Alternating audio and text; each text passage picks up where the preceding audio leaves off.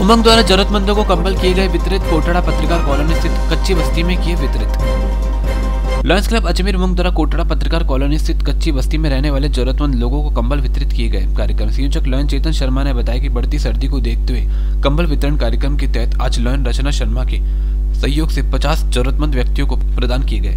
Club सचिव lion Ashok Garg के अनुसार इस अवसर पर Lion Abha Gandhi Lion Nisha Garg, Premlata Jain Lion Rajendra Gandhi Ashok Jain Lion Kailash Agarwal Govind Sharma Abha Shukla सहित क्षेत्रवासी उपस्थित थे। अंत में पत्रकार कॉलोनी विकास समिति के अध्यक्ष सुरेश काशीवाल ने सभी का आभार व्यक्त किया। लॉयंस क्लब अजमेर उमंग के द्वारा पत्रकार कॉलोनी के अंदर ज़रूरतमंदों को गर्म कम्बल वितरित किए गए। ये रचना रचना चेतन। चेतन चेतन रचना शर्मा मशीन टूल्स की ओर से वितरित किए गए। और ये कार्य हम करते आ रहे हैं मतलब ज, समय समय पे इनकी ज़रूरतमंदों की पूर्ति करते आ रहे हैं। कभी कम्बल कभी मिठाई कभी ये जो बिस्किट वगैरह बच्चों के लिए देते ही रहते हैं मतलब समय समय पे देते रहते हैं। जिससे ये जो इनका आ, इनका आ, नाम?